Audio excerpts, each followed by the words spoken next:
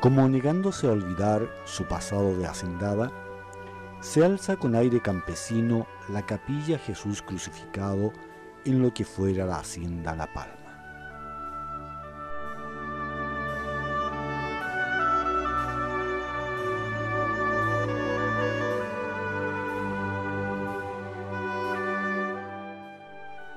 Con algunos vestigios del estilo gótico del siglo XIX y casi destruida por el terremoto de 1985, debió ser refaccionada en el año 2003.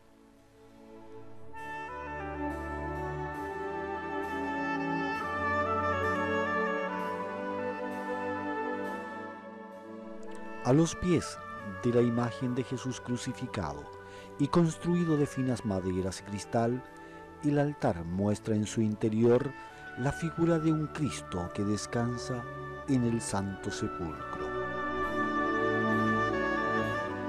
Donada y ornamentada personalmente por el matrimonio Aristía Brown, la capilla data de fines del siglo XIX, pero solo es reconocida su existencia en el año 1914, quedando como lugar de encuentro, de paz y fe para la comunidad.